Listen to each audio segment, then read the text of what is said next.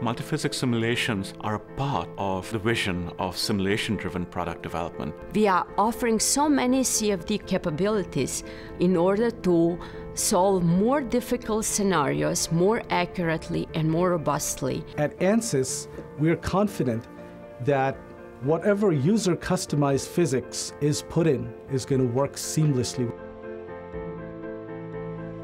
Simulation driven product development calls for using um, digital simulation methods like computer aided engineering further upstream in the design process, allowing our customers, our engineers, to utilize these methods to do design exploration before they get into the actual uh, construction and experimentation and testing of the products. The out of the box models in the ANSYS uh, software, they work really well and they've worked wonders for a lot of people. We are confident that any user customizable routine that is interfaced with the rest of the code will work seamlessly. And that's why we're the best in business. Real life physics and real life environments are rarely single physics or single discipline. By this I mean actual devices and processes are rarely driven by fluid dynamics alone or structural mechanics alone or electromagnetics alone. Frequently, they all interact with each other. And that's what we mean by multiphysics.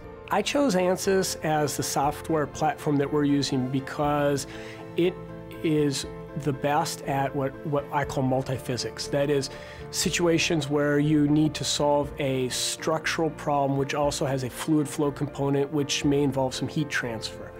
Or perhaps there's some electromagnetics which is causing some heating which then causes stresses. ANSYS is combining our CFD software with our mechanical software, and we are having the best in the world solution for fluid structure interaction problems. We, for the first time, can harness computational electromagnetics with fluid dynamics, with structural mechanics within our overall ANSYS portfolio.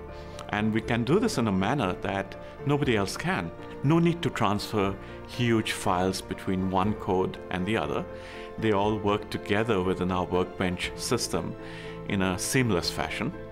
The customer does not have to create all kinds of manual processes. So we are able to have electromagnetics drive thermal simulations, drive mechanical simulations, and vice versa. We can have electromagnetics connected to fluid dynamics and vice versa. So, what this all means when you put it together into applications is that customers can actually start to do problems that they couldn't do before or couldn't accurately model before. I think the overall profile of users across the industry bears testimony to the fact that ANSYS is the market leader in this business. And we have for sure the best overall coverage for your CFD needs.